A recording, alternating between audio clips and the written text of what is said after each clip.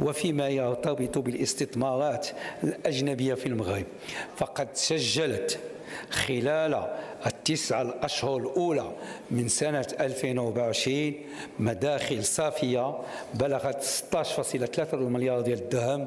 بارتفاع يقدر ب 50.7% مقارنة مع نفس الفترة من السنة الماضية والتي عرفت تراجعا في هذه المداخل على غرار كل دول العالم خاصة الدول الإفريقية.